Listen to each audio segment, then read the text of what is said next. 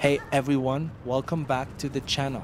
Today we're going to talk about a topic that has been brewing in the gaming world for a while Hollow Knight, Silksong. Yeah, it's been a long wait, hasn't it? Fans are eagerly waiting for Silksong, but with every passing month and no major updates, people are starting to get a bit anxious. So let's dive into why the development is taking so long and why you should still be excited about the game when it finally drops. It's hard to believe, but Hollow Knight Silksong has been in development for over 7 years. Originally announced as DLC for the first Hollow Knight, the game grew in scope so much that Team Cherry decided to turn it into a full-blown sequel. But with that decision came an even longer development cycle, and fans have been left wondering what's taking so long. The most recent updates from Team Cherry have been few and far between.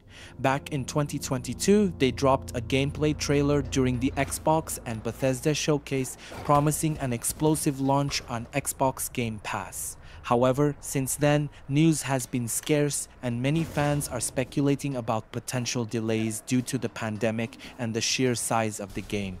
But here's the good news. Team Cherry has emphasized that they want Silksong to be polished to perfection before release. They're aiming for a game that lives up to the high standards set by the original Hollow Knight, and we can't really blame them for taking their time. After all, a rushed game never ends well, right? So what's next for Silksong? While we still don't have a confirmed release date, there are strong hints that the game is gearing up for an explosive launch in the coming year. It will be available on Xbox Game Pass from day one, which is huge news for fans who are subscribed to the service. That means many players will have instant access without having to pay full price, which could lead to a massive player base at launch.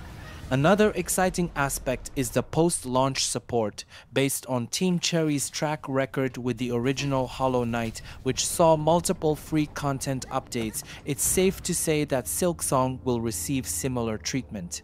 There's already speculation that the game could receive additional DLC or expansions, which would keep players engaged long after the initial release. Now let's talk about why you should still be hyped for Silksong. First off, the game is set to introduce a whole new protagonist Hornet. This switch up in gameplay could bring fresh mechanics and an entirely different combat style compared to the original Hollow Knight. Hornet's agility and her combat prowess with tools like needles and thread will open up new ways to explore and fight.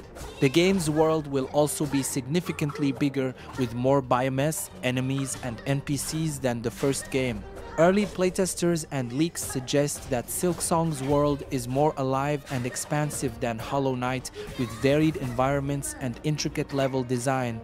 The soundtrack by Christopher Larkin is also expected to be a masterpiece enhancing the already immersive gameplay. Sure, the wait has been tough, but if Team Cherry delivers on all their promises, Silksong could very well be the best indie game of the year whenever it releases. It has the potential to surpass the original and captivate both new players and veterans alike. So, while the silence surrounding Silksong is frustrating, it's clear that Team Cherry is focused on delivering a game that will blow our minds. The extended development timeline may seem like a red flag, but we've seen time and again that good things come to those who wait. Are you still hyped for Silksong? Do you think the wait will be worth it? Let me know in the comments below.